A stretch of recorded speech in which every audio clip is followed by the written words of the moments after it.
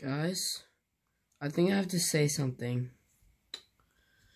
You guys know the drill, guys. So we got the prime. We got the glowberry glow in the dark prime. I heard that this tastes like a sour green apple and best of all, it can glow in the dark.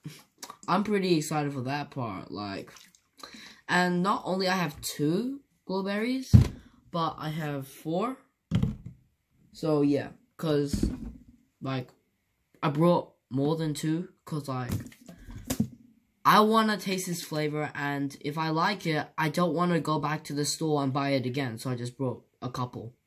Smart, am I right? But yeah, with the design of the bottle, I'm pretty.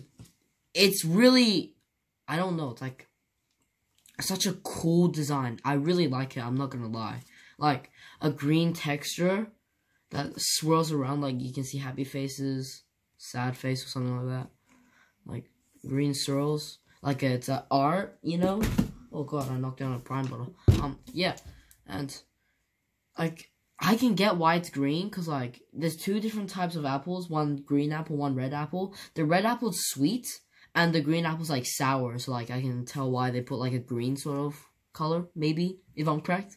And enough with the talking. Let's drink and maybe smell it first. That smells like like one of the green apple warheads. The sour warheads. You guys ever tasted those? Yeah, I used to eat those warheads all the time and like they were so sour. And it smells exactly like it. Like, oh my god. Let's drink.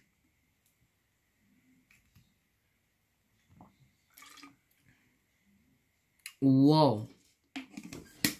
Whoa. That is probably my third flavor, my third favorite flavor.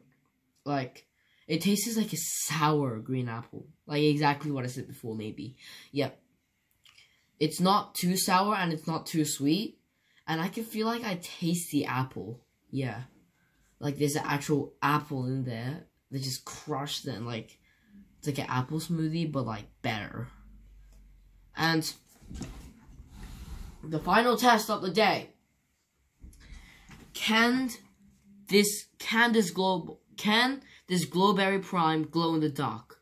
Let's see. I will turn the light switches off right there. We'll see. So, three, two, one. What the heck? As you can see, Logan Paul and KSI has lied to us. This does not glow into the this does not glow in the dark like they lied to us so yeah. I mean i'm not i i never wanted to glow in the dark so I, I i won't really care but i really like the design of it i'm not i'm not gonna lie.